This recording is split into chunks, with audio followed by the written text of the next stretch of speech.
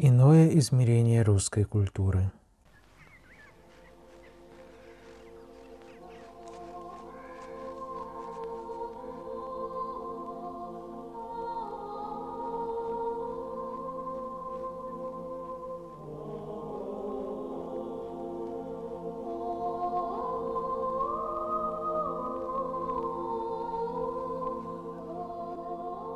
Михаил Васильевич Ломоносов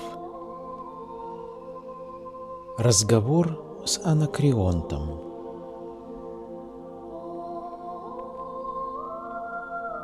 Читает Евгений Бразов-Брушковский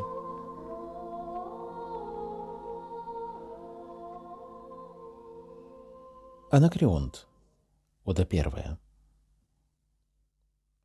Мне петь было отрое, о кадме мне бы петь, Да гусли мне в покое любовь велят звенеть.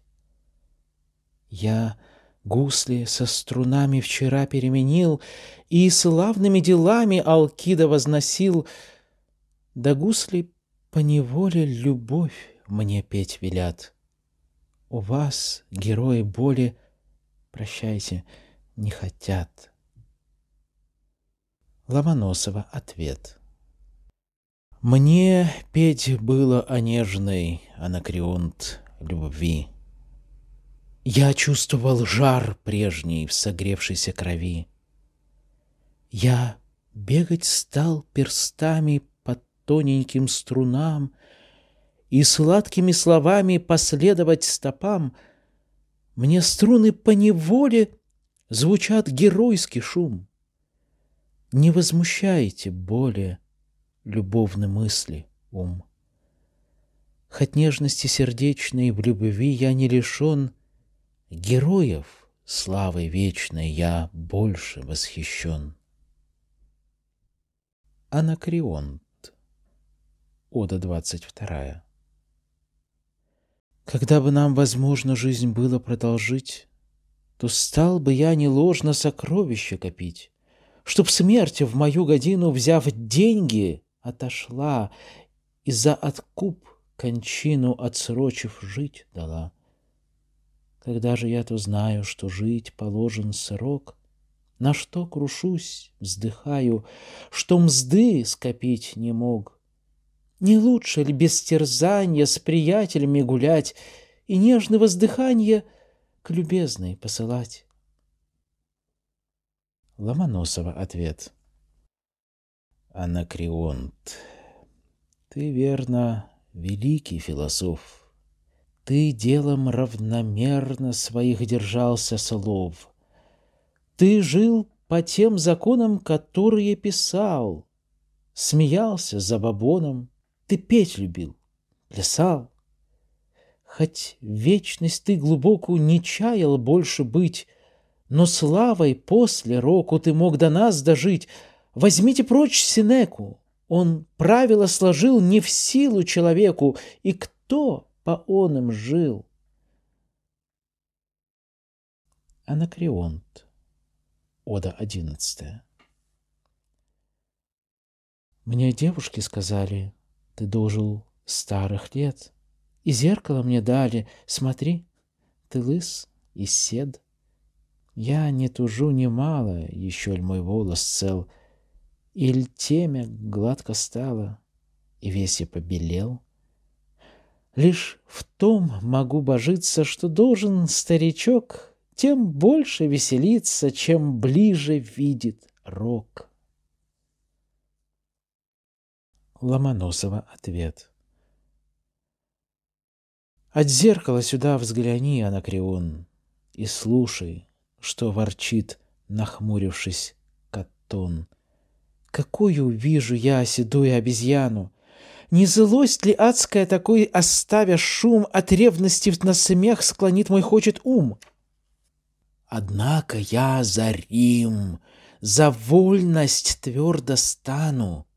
Мечтаниями я такими не смущусь, И сим от кесаря кинжалом свобожусь. Анакреонт, ты был роскошен, весел, сладок — Катон старался ввести в республику порядок. Ты век в забавах жил и взял свое с собой. Его угрюмством в Рим не возвращен покой. Ты жизнь употреблял, как временно утеху. Он жизнь пренебрегал к республике успеху. Зерном твой отнял дух, приятный виноград. Ножом он сам себе был смертный супостат. Беззлобна роскошь в том была тебе причина. Упрямка славная была ему судьбина. Несходство чудный вдруг и сходство, понял я. Умнее кто из вас, другой, будь в том судья. Анакреонт. Ода двадцать восьмая. Мастер в живописстве первый, первый в родской стороне, Мастер, научен Минервой, напиши любезну мне. Напиши ей кудри черные, без искусных рук уборные, С благовонием духов, буди способ есть таков.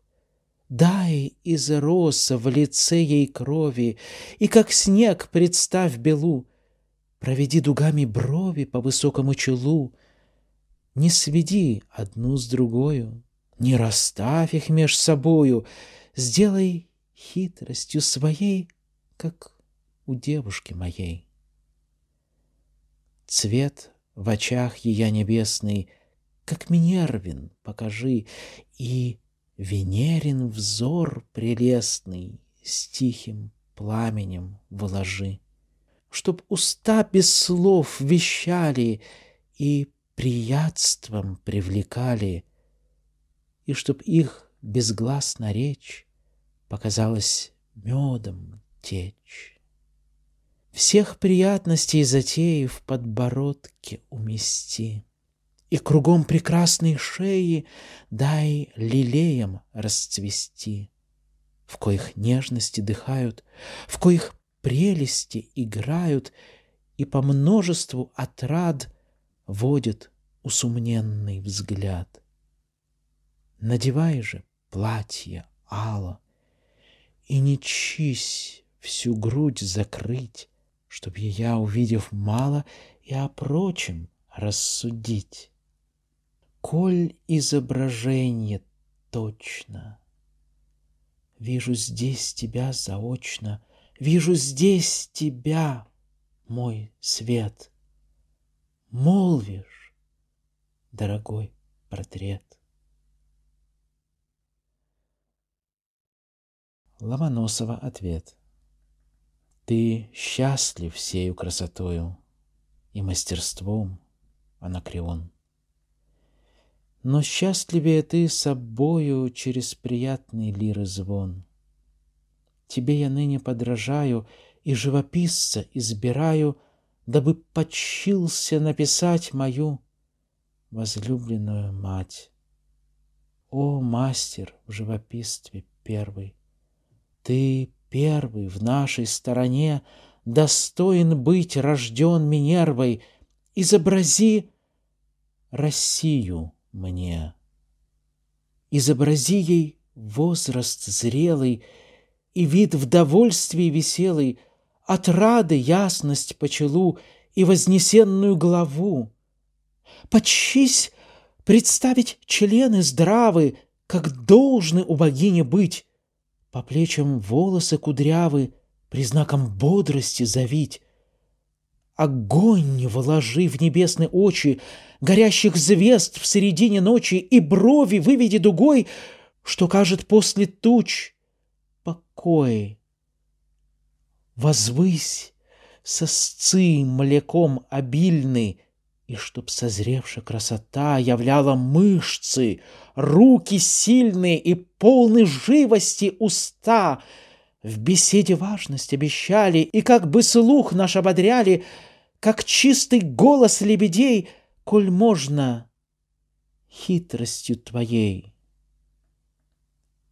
Одень одень ее в парфиру, дай скипетр, возложи венец, как должно ей законы миру и раз прям предписать конец. О, коль изображение сходно, красно, любезно, благородно, великая промолви мать, и повели войнам пристать.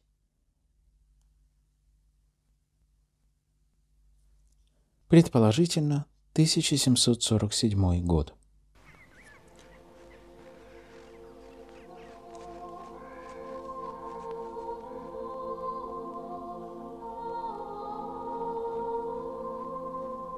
Комментарии Арсения Ивановича Веденского Разговор с Анакреонтом не был напечатан при жизни Ломоносова и появился в российском Парнасе, изданном в Санкт-Петербурге в 1771 году, а потом в издании Дамаскина.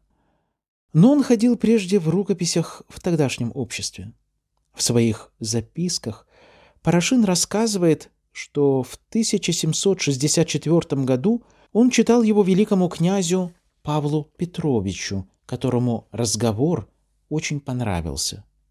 Обращение в конце к императрице Елисавете, возможно, со словами «и повели войнам пристать», дает академику Пекарскому повод думать, что стихотворение написано, когда, цитирую, Императрица Елизавета намеревалась оказать вооруженное содействие Австрии, то есть в 1747 году.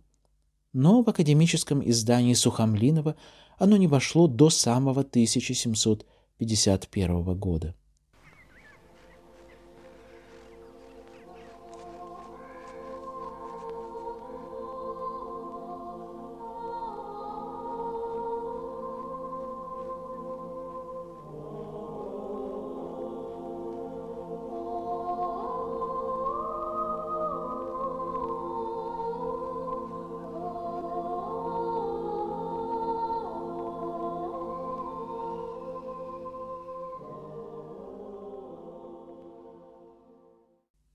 Читано по изданию сочинения Михаила Васильевича Ломоносова в стихах под редакцией Арсения Ивановича Веденского.